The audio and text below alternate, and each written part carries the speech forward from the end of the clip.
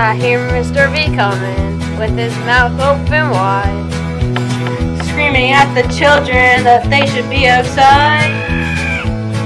We're stuck in Palermo prison from kindergarten to grade eight. When I was just a baby, my mama told me, son, you're going to Palermo, so go and have some fun. We're still stuck in Palermo prison, and time keeps dragging on.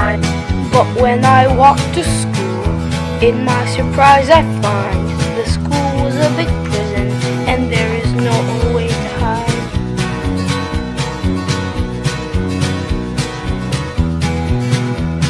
I hear that bell ring. I want to